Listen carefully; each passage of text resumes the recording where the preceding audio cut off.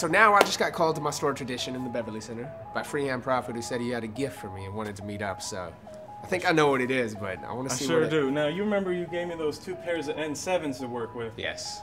Well, Holy the result is the very first KD4 gas mask from my Army of the Undead stock series of work. Wow.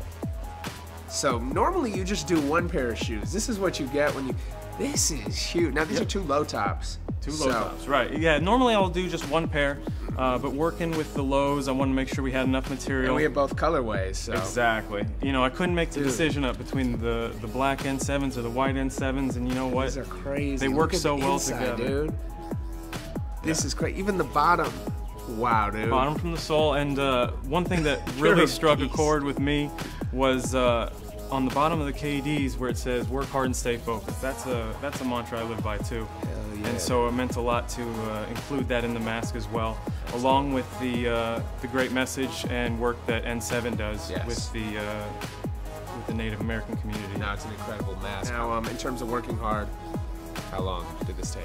You know, normally it takes about four to six weeks. Um, a lot of that can be cure time, paints, waiting for new materials. It's not as easy as just cutting it up and putting them together. No, it's never the same. There's always a new problem. Yeah, and there's no formula because each shoe has different materials. Exactly, Wow. exactly. Um, and there's not really any planning that goes into it.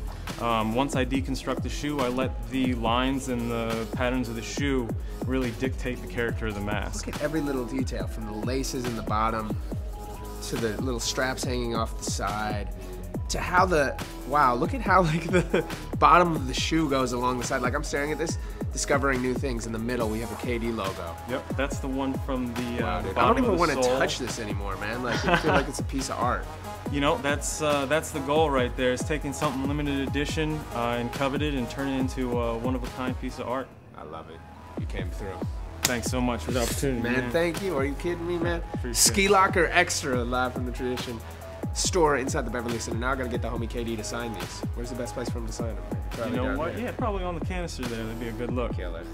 Freehand Profit, killing it. Get at him if you want something exclusive and special.